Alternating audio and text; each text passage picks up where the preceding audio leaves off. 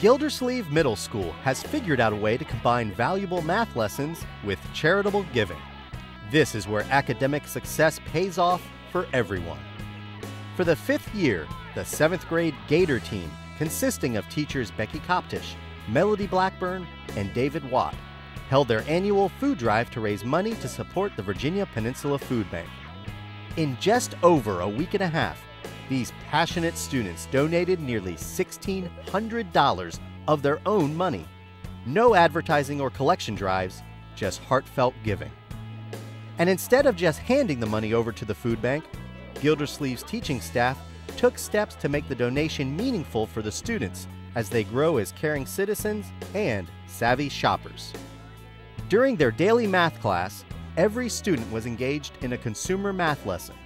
Blackburn's financial lesson focused on how to mathematically and accurately use coupons, spot the best deal, and stretch a buck for the most impact. A real world lesson that will assist these students the rest of their lives as educated consumers. Each class was broken into smaller groups, and every student was assigned a job position to play an important role in the process. Students used Food Lion's Thanksgiving advertisement to begin shopping for the best deal while factoring in their MVP discounts and designing their shopping list. Some students went the extra mile by visiting Food Lion the night before to make sure they had the best shopping plan to help as many families as possible. And right before the Thanksgiving break, students, teachers, parents, and Principal Courtney Mompoint visited the Hidenwood Food Lion to put their donation to good use.